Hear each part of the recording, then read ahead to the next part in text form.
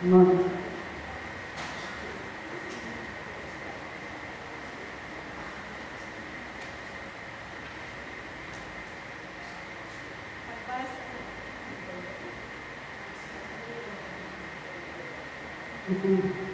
salita ng Diyos mula sa aklat ni Job.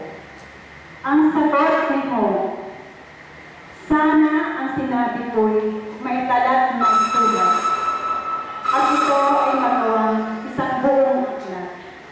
At sa bato'y may orchid itong mga salita ko, upang sa habang panahon mabasa ng mga tao.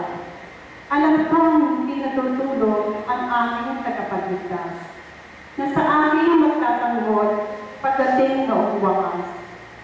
Pagkatapos na maluray itong aking buong dagat, ang Diyos ko'y mamamalas kahit naman ay maagnas. Siya'y aking mamamasdan at mukhaang makikita ng sariling mga mata, di ng sino man iba. Ang salita ng Salamat sa Diyos. Salmon Tugunon. Panginoon ang aking mahal, panalangin ko'y pakinggan. Panginoong aking mahal, panalangin ko'y pakinggan. Dingin mo, O Poon, ang aking dalangin. Kapagkat matuwid, kaya ako'y ginuliw. Ito ang iyong lingkod, huwag mo nang subukin. Batid mo ng lahat, kami ay sadarin. Panginoong aking mahal, panalangin ko'y pakinggan. Araw na lumipas, aking nagulita, at naalaala ang ginawa. Sa aking isipay, bumibig na bigla. Ako'y tumalangin na taas ang kamay, parang tuyong lupa, ang diwa kong uhaw. Panginoong aking mahal, panalangin ko'y pakinggan. Nawalan ng lahat ang aking pag-asa. Kaya naman poon, ako'y tinigin mo na. Ako ay umasa sa iyo nagtiwala. Na kung umagay, ipapatuloy ang pag-ibig mo na lubhang dakila. Panginoong aking mahal, panalangin ko'y pakinggan. Ikaw ang aking Diyos, ako ay turuan na aking masunod ang iyong kalooban. Ang Espiritu mo maging aking panglaw sa aking paglakad sa ligtas na daan. Panginoong aking mahal, panalangin ko'y pakinggan. ang salita ng Diyos mula sa sulat ng Apostol San Pablo sa mga taga-Roma. Mga kapatid, kung ang Diyos ay panig sa atin, sino ang laban sa atin? Hindi niya pinagkait ang sarili niyang anak, kundi ibinigay para sa ating lahat. Kung naipagkaloob niya sa atin ang kanyang anak, hindi ba niya ipagkakaloob sa atin ang lahat ng bagay kasama ng kanyang anak? Makaharap ng sakdal laban sa mga hinirang ng Diyos? Gayong ang Diyos ang nagpapawalang sala sa kanila. Sino nga ang hatol ng kaparusahan? Si Kristo Jesus ba nasa kanan ng Diyos? Siya pa nga ang namatay at muling binuhay at ngayon namagitan para sa atin. Sino ang makapaghiwalay sa atin sa pagmamahal ni Kristo? Ang paghihirap ba? Ang kapagtilian? Ang pag-uusig? Ang gutom? Ang kahugatan? Ang panganib? O ang taba? Hindi. Ang lahat na ito'y kaya-kaya nating pagtagumpayan sa pamamagitan niya na nagmamahal sa atin. Sapagkat natitiyak ko ang kamatayan, ang buhay,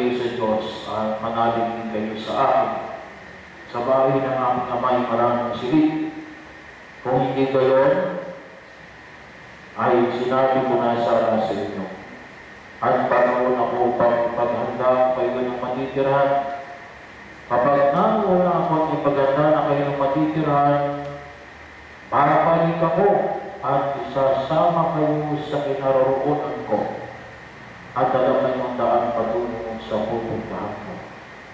Sinabi sa kanya Tomas, Panginoon, hindi po namin alam kung saan kayo pupunta. Paano namin malalaman ang daan?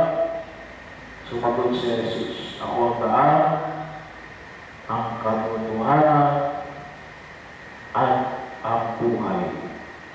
Walang makapupunta sa Ama, kundi sa pamamagitan ko. Ang mabuting balita ng Panginoon. Pinupuri ka namin, Panginoong Yeso Kristo. Ito po ang paghahatid talaga natin sa huli ng tuman ni Antonio sa araw na ito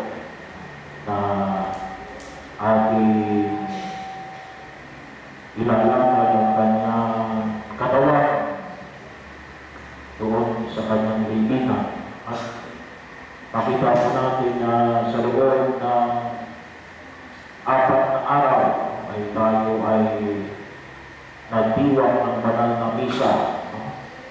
So sabi nga po natin ay yung tema na ipinahiwatig natin, una, huwag kayong matakot. Kaya po unang araw, sabi nga po natin na ay huwag tayong matakot. Bakit? Kasi sinabi ni Jesus, no? ako'y palaging kasama ninyo hanggang sa huling sandali. Kaya huwag natin kalimutan na kasama natin palagi ang Diyos. Kaya wala tayong dapat ikatakot. At ikinakailangan paalala natin sa ating sarili at sa bawat isa na kasama natin ang Diyos. Pangalawa, sabi nga po natin, katulad ni Propeta Elias, na for almost 6,000 years, ang kanyang pamamaraan para huwag matakot sa Diyos ay ano, pag-awit. Pag-awit ng mga awitin ng Diyos. Religious songs. No? So, pangalawa, ang sabi natin ay ako ang daan. Yun yung paanyaya ni Jesus. Sa Jesus ang daan. At ang daan ay pinamanis niya din. Nababagay sa kanyang utos. At ano ang kanyang utos? Ang utos ng pag-ibig.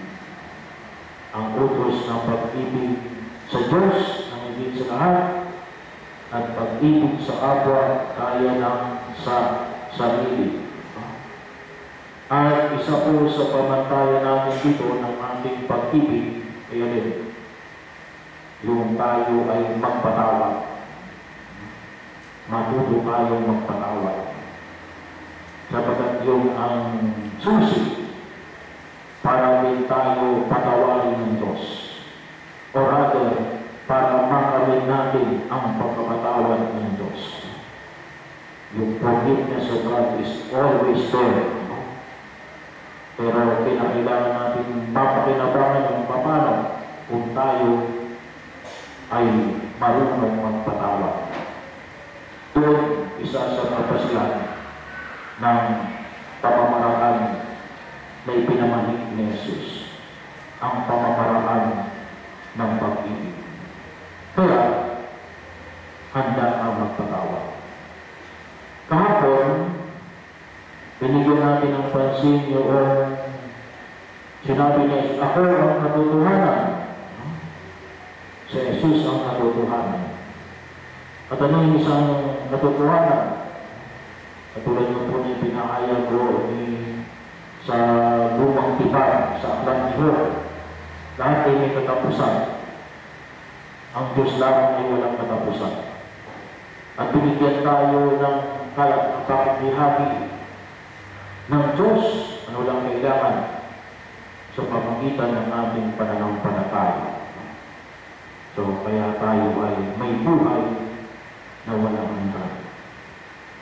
Ngayon, bahagi yun ng kung saan ay nais namin pag-ilay ngayon ay sinabi niya, ako ang buhay. No?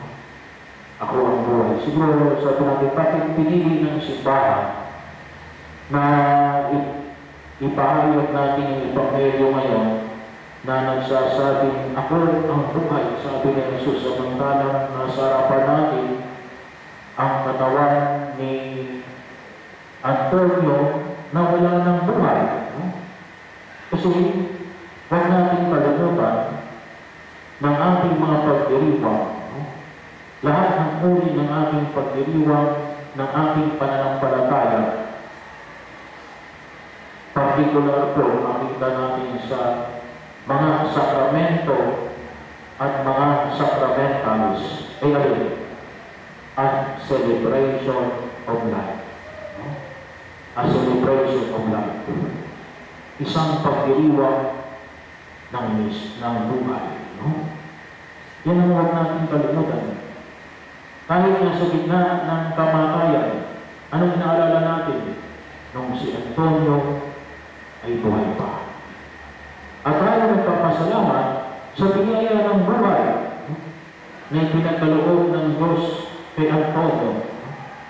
So, ako lamang po nagtataka kasi mayroon mong sekta no, na sinasabi nila na sila Kristiyano pero no, they, they do not celebrate birthdays. No? Bawal daw mag-celebrate ng kanilang kaarawan. No? Sa atin, we celebrate life. Bakit? Pinuturo ni Jesus. No? Everything ay isang pagdiriwang ng buhay. Kaya tayo nagpapasalamat sa ipinagkaloob ng Diyos ng buhay. Papakinabangan natin lahat ng kanyang biyaya na Jesus gawa ng alin. Gawa tayo ay buhay. No? Walang kwenta yung mga bagay na ito ng pagpapala ng Diyos kung hindi tayo binigyan ng buhay. Pero patuloy nating pasalamatan ang Diyos sa biyaya ng buhay. Every day, magpasalamat tayo at nagising tayo sa araw na ito. Bagamat po si Antonio ay wala ng buhay, tayo magpasalamat sa buhay na ipinagkaloob sa kanya. No? Ilang taon? Ilang taon na si Antonio? 60? 73. O, 73 na pala. No? So, sabi ko nga, eh, aabot kaya tayo ng sa 23. No? Pero magpila, ano man yung aabutin natin, no? Na iba, magpasalamat tayo sa biyaya ng buhay, no? Na ipinagkaloob sa atin ng Diyos. At nawa po, araw-araw pagkagising natin, magpasalamat tayo sa Diyos. Panginoon, salamat po sa buhay na ipinagkaloob. Kaya nga po tayo inaanyahan din ng Diyos na makiisa ng banal na pagdiriwang ng misa every Sunday. Kasi yung Eucharistia, at sabi nga natin ay Thanksgiving. Ang ibig sabihin ng Salitang Eucharistia ay pasasalamat. At sa marami natin pasalamat din, pasasalamat sa biyaya ng buhay. Naging bahagi ng buhay no? na kanyang mga mahal sa buhay. No? Naging kapatid ng buhay. No? Kaya po yung salitang kapatid, pinatid, yung umbilical cords. Naging kapatid. Nandito na po yung mga kapatid ni Antonio. Uh, pakitas mo kami yung mga kapatid ni Antonio yung sa dalawa, tatlo, apat. So, bahagi po, no?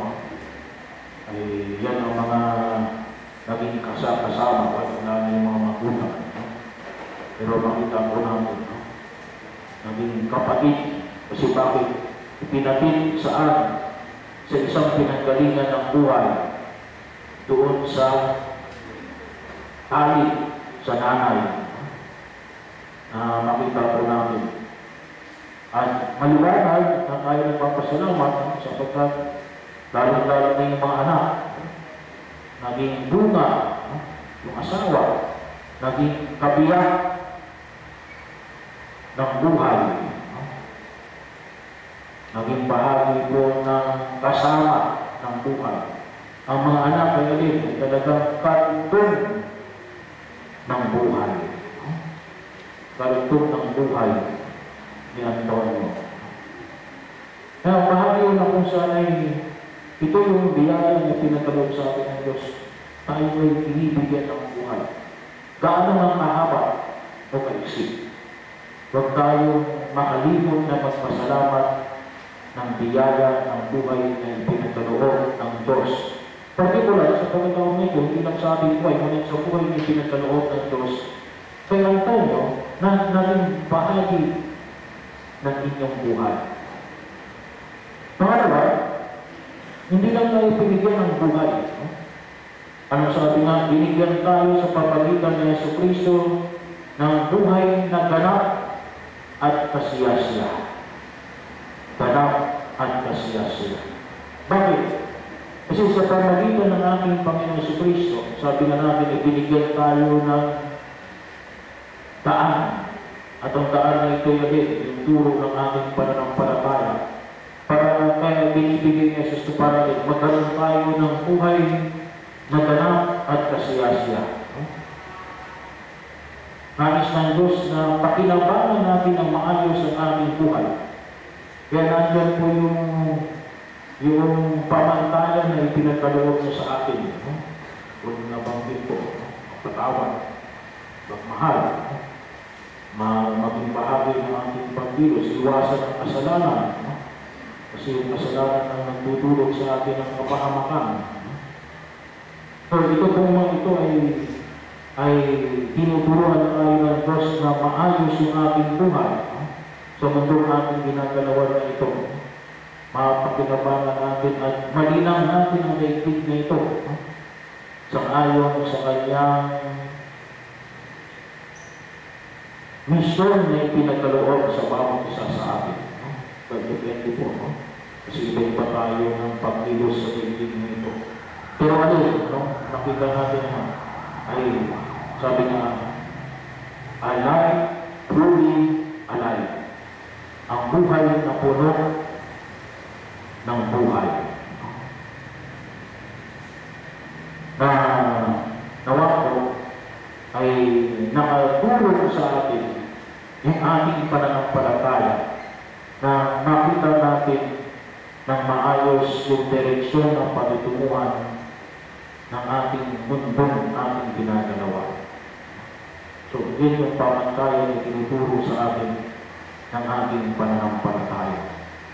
Ilayo tayo sa anumang uri ng mga pagtutulog sa atin ng kapahamakan. Yun, yun po yung mga utos ni General.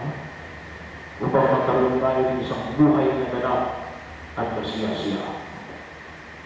Pangatlo, sabi nga natin na rin, ibinigyan din natin ng pansin kahapon. Binigyan tayo ng buhay na walang hanggan. Sa isang biyaya na ipinagkaloob sa atin nung tayo ibininyagan. Anangis niyang tayo ay makasama doon sa kanyang kaharian sa langit sa piling ng mga banal at mga anghel na nawa ay ay higit sila rin kasama natin ang Diyos.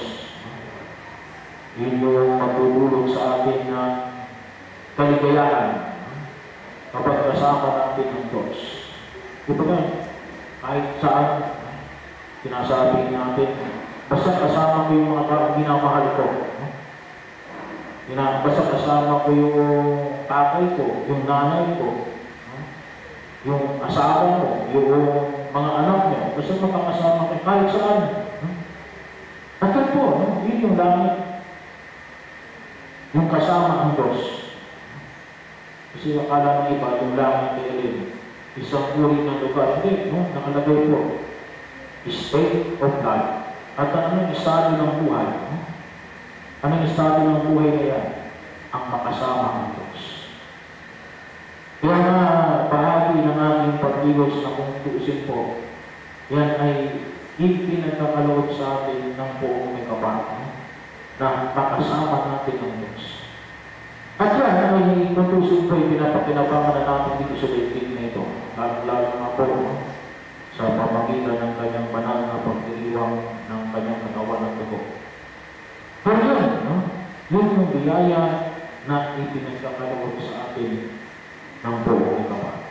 Binigyan tayo ng buhay, isang buhay na ganap at kasiyasiya, at ang buhay na walang hanggan. Yan ang pinagkakaloob ng buong ikaw. Pero sabi, bakit bakit pa natin pinagdarasan? Yung taong namatay, eh, matagal naman ang buhay na walang. Kaya kung natin pinagdarasan, yung taong namatay, hindi para magkaroon siya ng buhay na walang hanggan. Pinagkat na niya yun eh. Ba't pa natin pinagdarasan? Kasi sabi nga, to render the requirements of justice. To render the requirement of justice. Yung buhay na walang hanggan, yung pinagkaloob sa bawat binyagan. Ba't pa natin pinagdarasan para maibigay hinihingi ng katarungan? Ba't kinamilang pag ibigay yung hinihingi ng katarungan? Yung maalala, sinabi ng Diyos kay Sakeo, no? nung siya'y dumalaw sa kanyang bahay. Ano? Ang sinasabi ng tao yun, si Jesus nakikisama sa makasalanan. Anong sabi niya sa kayo? Panginoon, ibibigay ko po ang kalahati ng aking ari-arian sa mga dukha. No? So, it's not because si Sakeo ay gustong maligtas. Eh, pumunta na siya sa bahay ni Sakeo. No? Pero bakit niya yung binigay? Sabi mo nga, ay sapagkat nakamit niya yung kaligtasan na tulong ni Jesus. At pag sabi niya, ibibigay ko po ng ikaapat na beses ang sino mang nadaya ko. Kung may nadaya man raw siya, magbibigay siya ng four times the amount. Eh sinabi niya, hindi, ay justify ko na kasi gawa ng pananampalataya mo kay Jesus. Isa na sinabi ni Jesus na, ay hindi, hindi mo na kailangan magbayad. Kasi sumampalataya ka na sa akin, hindi. No? Yan po yung halagahan natin ng tinatawag na purgatorio. For example, na lamang ako, may isang tao kasama mo na matay. Ikaw, nagsumikap ka ng gumawa ng mabuti, iniwasan mo ang gumawa ng masama. Pareho kayo mananampalataya. Yung isa, nakapatay. Nakapatay ng maraming tao. Gawa siguro ng kanyang tali. Oh. So, pareho kayo namatay. Pareho kayo sumampalataya. Pareho kayo nagsisi sa inyong nagawang kasalanan. Sabay pa kayo napupunta sa langit? Hindi.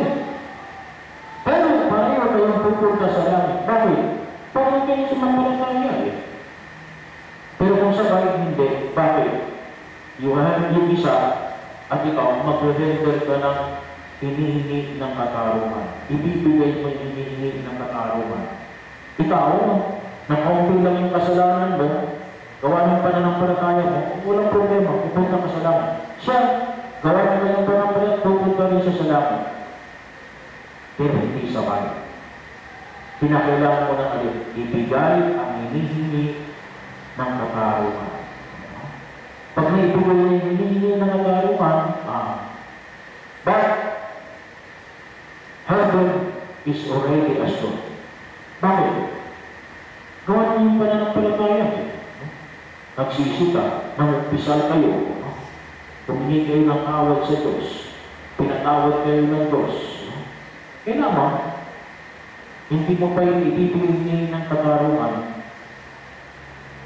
Kaya ang tawag natin sa purgatory day. Parang holding station. No? Doon ka muna ipupurga. No? Pero maliwanag natin, pareho kayong magkakamit ng buhay na walang ito ang idulog natin para kay Antonio. No? Idulog natin ito para kay Antonio. Na kung sakali mang meron na siya, meron pa siyang hindi ibibigay na sa kayo ng, ng katarungan, ay matulungan natin. Kung wala naman, walang problema. Bakit? siya naman ang magdarasal para sa atin. No? Doon po yung ginagawa ng mga santo at santa. Na kapag sinabi mo na sa langit ka na, sila naman ang magdarasal para sa atin. No? Eh, hindi mo masasayang yung ating panalangin kay Antonio. No? Kung siya man ay papunta pa lang sa langit, o kung siya na sa langit na. No? Kasi sigurado papakinabangan niya. At tutulungan niya rin tayo, no? at tayo ay makarating din doon sa kaluwalhatian ng Diyos sa kanyang kanan. Kasi yun ang gusto ng Diyos eh. Kaya siya dumating sa daigdig na ito para magdamit tayo ng kaligtasan. Hindi ng kapahamakan. At sama-sama rin po natin idulog no? sa harapan ng buong kapal. Yung ating mga ah na tulungan tayo no? ng ating ah pananampalataya na makatutol tayo ng Diyos sa lahat. Lalo-lalo na ako ngayon, ay nais ko rin pong nagdagdag kasi po ngayon may 50 years ng ating diocese ng San Pablo. Mayroon na tayong tinatawag na 12 Jubilee Churches. So kapag po tayo dumalaw doon, yung malapit po sa atin yung ulit, Landayan. Landayan. Santa Rosa. Ang binyan, yung Santa Rosa na bayan, yung binyan na bayan.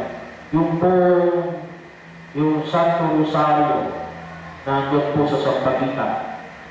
Yung po, ah, St. John the Baptist ng Kalamba, ang St. Augustine ng Pae, ang San Antonio ng Pila, ang Katedral ng San Pablo, ang San Juan Bautista ng Lili, ang ang San ang yung po Turumba ng Pae, ang St. Peter and Paul ng Siniluan, Laguna. Ito po yung 12 Jubilee Churches natin ngayon. Pinagpagdiriwang po ng 50 years natin bilang isang diocese. No? Kapag po kayo dumalaw doon, until November 28, 2017, no? ay pwede niyo po ialay para sa inyong sarili. No? Yung iba, palagi na sa nagdala. No? Ay pwede niyo pong ialay yung para sa inyong sarili. Siguro sabi ng Father, nang galing ako ng biyernes, ay alay ko ng sarili ko.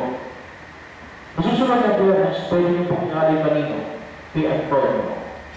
At susunod na biyernes, pwede niyo pong ialay sa sa tatay ni Antonio. No? At susunod na biyernes, kung pupunta ulit kayo doon, pwede niyo ilalay sa nanay ni Antonio. No? So, pwede niyo ialay doon naman sa tao na patay para matulungan natin siya na to render the requirements of justice. Ano yung gagawin natin? Dito po sa Jubilee Churches na ito ng, ng Laguna, no? kasi yung pagdiriwang ng ating 50 years ay magsipa. Makapag-komunyon, makapag-kumpisal na at least 15 days before or 15 days after.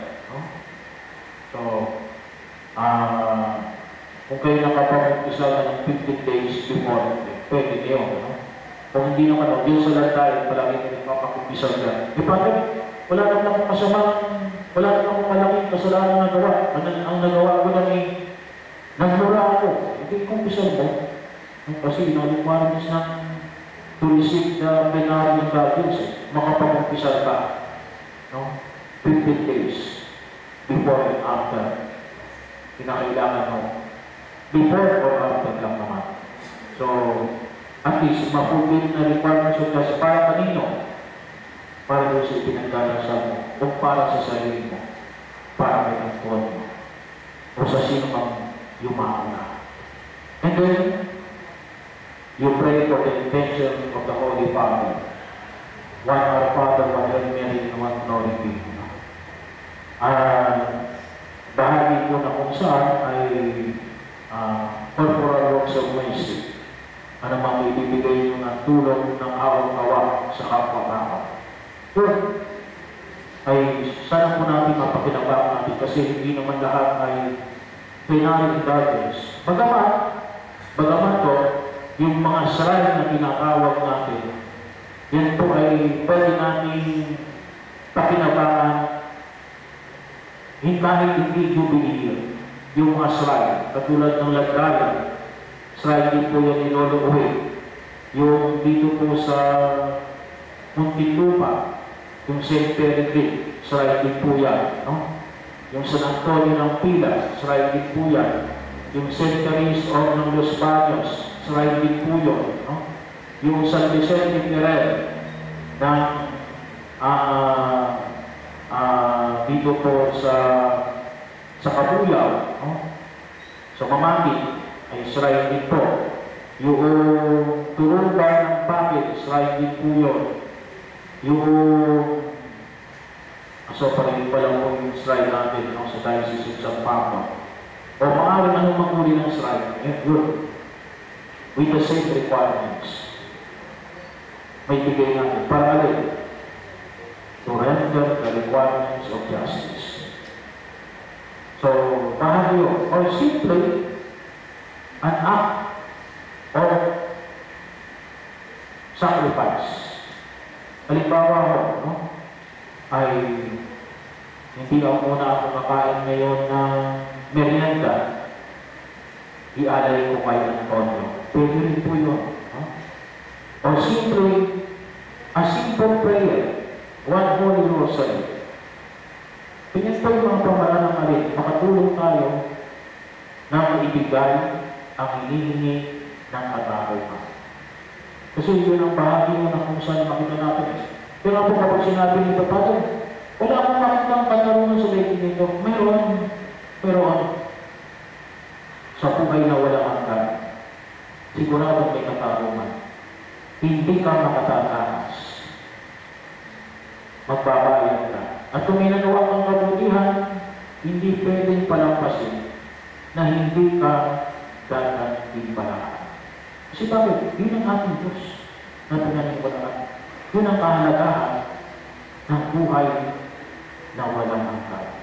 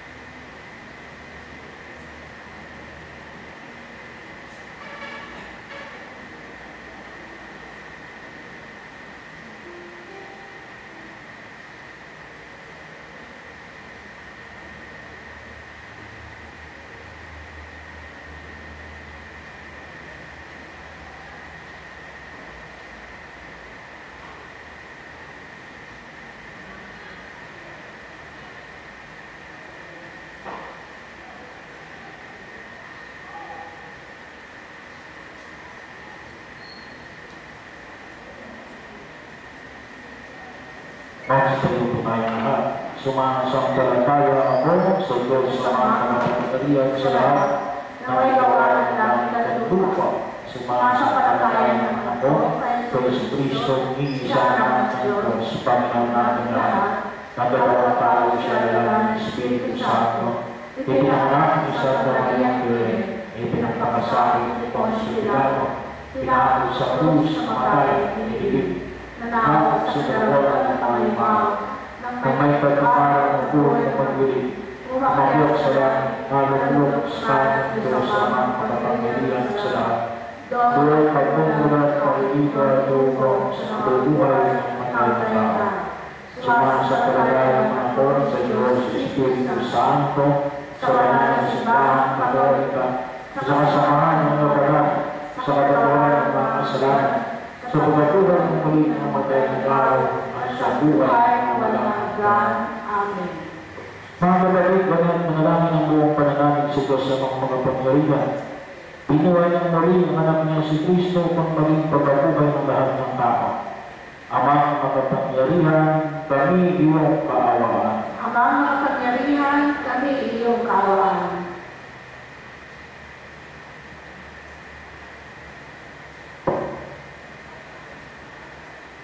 Nawang pinagaan ang ating kapatid Luis Antonio.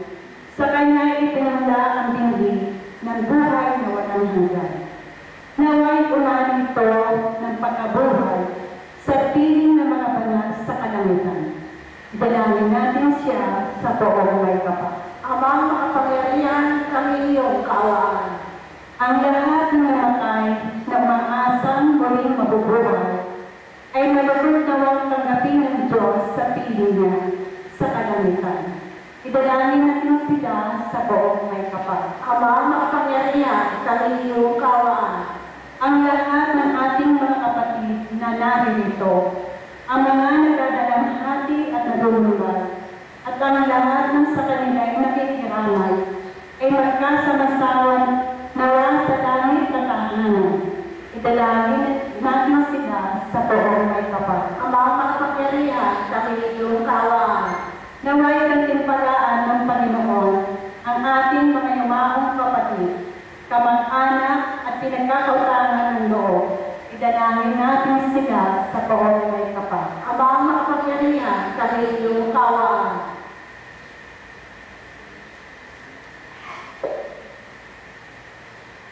Ama namin mapagpaling pagkaloob mo sa lahat ng pagkain sa kay Kristo at muling pagkabuhay sa piling mo, kasama ng anak, at ng Espiritu Santo, magpasawalang hanggan. Amen.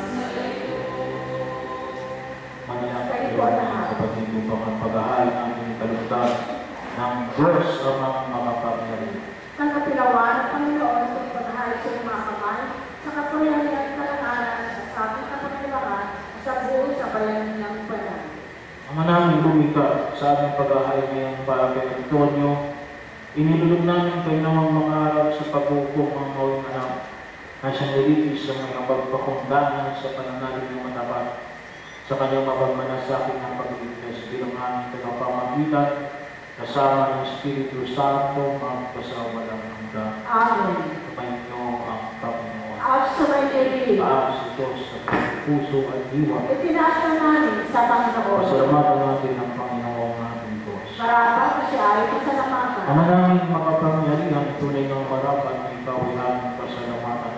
Sa mamagitan niyo sa Kristo aming Panginoon, sa gabi ng kamatay, pag-asang sa silay, ang muli ng pagkabuhay ng aming kinabukasan. Lord namin lumalakas ngayong aming nabibigyan ng